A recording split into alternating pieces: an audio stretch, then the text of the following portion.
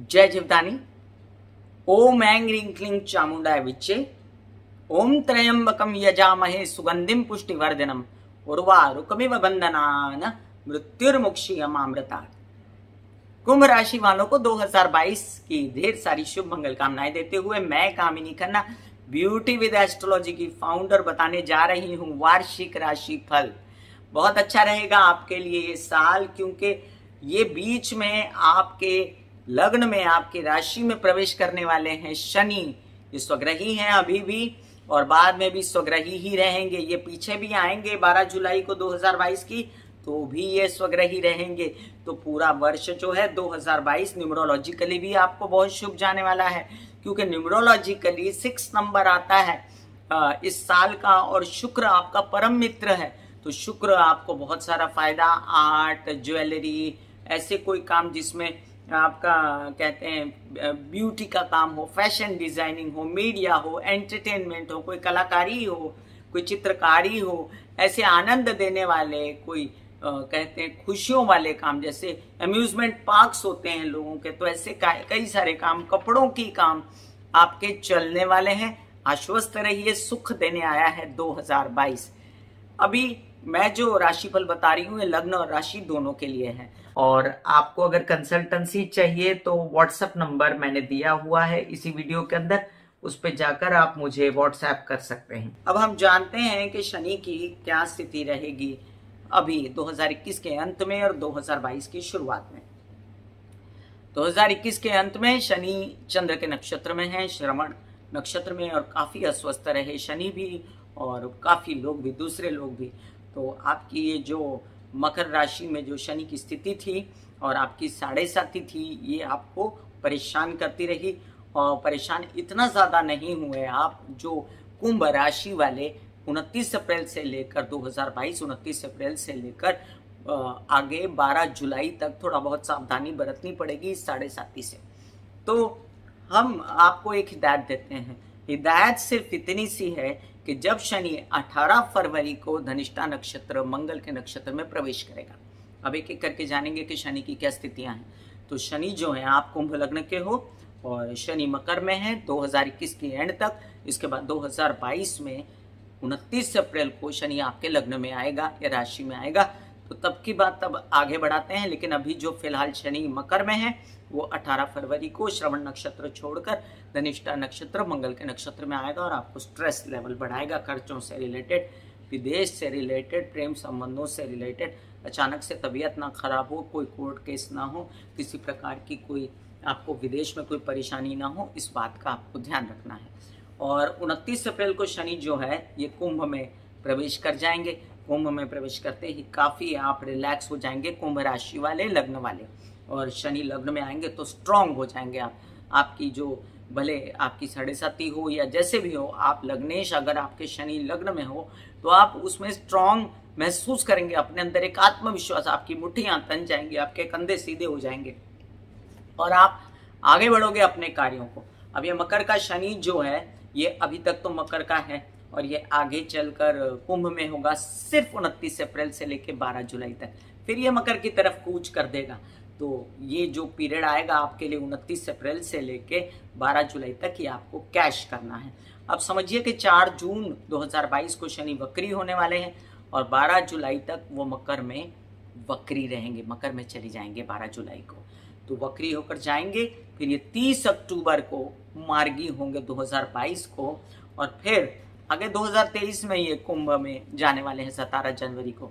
वो एक बार ये 12 जुलाई को जो मकर में पहुँचे, वहाँ वक्री मार्गी होकर वहीं पर स्थित होने वाले हैं मकर राशि में।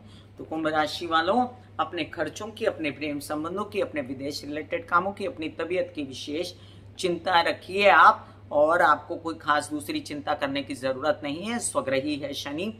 याद रखें कि जब शनि मकर में है, तब की दृष्टियाँ कहती हैं कि पैसे को बचाओ विरोधियों से सावधान रहो लोन्स मत लो और लोन दो मत किसी को। अपनी कोई पुरानी बीमारी है तो उसका ध्यान रखो और इसके साथ अपने कार्यों को बढ़ाओ। अब आप कहेंगे कि एक तरफ़ तो काम कम हो रहे हैं एक तरफ़ तो तबीयत खराब हो रही है, लेकिन फिर भी काम मिलेंगे। ये बड़ा होता है कई बार ऐसा कि एक तरफ़ तबीयत खराब होती है और काम मिलने शुरू हो जाते हैं तो ये स्थिति आपकी रहेगी, काम आपके बढ़ते रहेंगे। और जब शनि उनतीस अप्रैल से लेके जो 12 जुलाई तक जो कुंभ में प्रवेश कर जाएगा तो ये आपको फिर से थोड़ा सा कंफ्यूजन देने वाला है। इसकी तीसरी दृष्टि पड़ जाएगी आपके पराक्रम और उत्साह पे। तो आप थोड़े से लेजी हो जाएँगे, मंगल का घर है तो स्ट्रेस हो सकता है। वहाँ विराजमान हो जाएँगे 12 अप्रैल को राहु भी 12 अप्रैल 2022 को। तो राहु वहाँ आकर पुश करते हैं आपको। अब राहु जो है स्थान बली हो जाएँगे वहाँ पर। तो ये बात बड़ी विचित्र सी है कि थकन हो जाएगी। आप काम इतना होगा आपके पास कि आपको थकन हो सकती है, आप रेस्टलेस हो सकते हो। और आप रेस्टलेस ये थोड़े से पीरियड के लिए होगे, लेकिन राहु आपको फुल ईयर रेस्टलेस रखेगा। आपको दौड़ाएगा, आपको काम करवाएगा वो। छोटे भाई बहनों से मन मुटाव ना हो, उनकी तबीयत खराब ना हो, इस बात का भी आपको ध्यान रखना पड़ेगा। हालाँकि केतु इन सब बातों को देखते हुए और परेशान होकर आपको धार्मिक यात्राओं पर न ले चले और वहाँ पर आपको आनंद मिलेगा, सुख मिलेगा। क्योंकि ये साल शुक्र का है, आप कहीं भी जाइए, आपको आनंद और सुख की प्राप्ति होती रहेगी। आपके भाग्य के स्वामी है, शुक्र। चतुर्थ भाव के स्वामी है तो माता से सुख, वाहन का सुख, कितना भी साढ़े साथी रहे, कुछ भी रहे, लग्नेश, लग्न में, राशेश, राशि में तो ये शनि आपको दुख देने वाला ज़्यादा नहीं है। बची रहेंगी स्थितियाँ। अब देखते हैं कि गुरु की स्थिति क्या है। गुरु जो है वो मकर में पहले स्थित थे। अब 20 नवंबर को वो 2021 को प्रवेश कर जाएँगे। आपके लग्न में और शादी की बैंड बाजे बजाएँगे। आपको अगर शादी करनी है तो आप कर सकते हैं। आपके लग्न को स्ट्रॉन्ग करेंगे, आपकी हिम्मत बढ़ाएँगे, हौसला बढ़ाएँगे और आपको सात्विक बनाएँगे गुरु। आपकी नेकनामी होगी। आपके कुछ ऐसे काम हैं जिसमें आप बढ़ना चाहते हो। विवाहित जीवन के सपोर्ट को लेकर, व्यवसायिक जीवन के सपोर्ट को लेकर तो वो भी बढ़ सकते हैं। गुरु जो है, इनकी पंचम दृष्टि आपके माइंड पर पड़ेगी तो आप बहुत सारा काम बच्चों के साथ मिलकर कर सकते हो।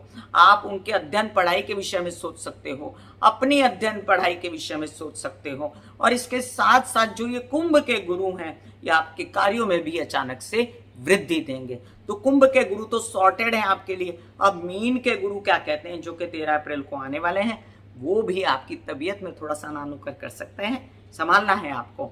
और ऐसी स्थिति में वो आपके लोन्स पास करवा सकते हैं, आपके विरोधी कम कर सकते हैं, आपके बैंकिंग रिलेटेड व्यवहार अच्छे कर सकते हैं, ननियाल पक्ष से सपोर्ट कर सकते हैं और फिर आपके कामों में वृद्धि कर सकते हैं। कुछ ऐसे काम जो पायस हैं, कुछ ऐसे काम जो गुरु से रिलेटेड हैं, सिखाने वाले हैं अध्ययन आप प्रोफेसर है लेक्चरर हैं, किसी ऊँचे अहदे पर हैं, कोई ज्ञानी है, कोई महात्मा है तो आपके कामों में वृद्धि हो जाएगी। तो गुरु की यह स्थिति आपके लिए कुंभ में भी बहुत अच्छी है और मीन में भी बहुत अच्छी है। तो हमने देखा केतु की अब स्थिति जाने तो केतु आपको कहते हैं ना कि थोड़ा सा कार्यस्थलों पर ले जाके अलगाव स्थिति में ले आएँगे। मतलब काम ऑफ़र हो रहे हैं और आप सोच रहे हैं कि ये काम मुझे अकेले करना पड़ रहा है, मेरे साथ कोई खड़ा नहीं हुआ। तो ये स्थिति को आपको बचते बचाते हुए कार्यों को करना है। एकंदरित 2022 साल आपके लिए बहुत अच्छा है, भले आपको साढ़े सात रहे कुछ भी करे, एक तो न्यूमरोलॉजिकली आपको शुक्र सपोर्ट कर रहा है और दूसरे, आपके लग्नेश और आपके राशिश आपके लग्न में है, राशि में है। मैं काम ही नहीं करना फिर भी प्रभु से प्रार्थना करूँगी कि आपको ये साल अत्यंत उत्तम जाए, सुख, ऐश्वर्य, आरोग्य, संपदा, स्वास्थ्य की प्राप्ति हो आपके परिवार को और आपको दीपावली की ढेर सारी शुभ मंगल कामनाएँ। गॉड ब्लेस यू जय जीवदानी।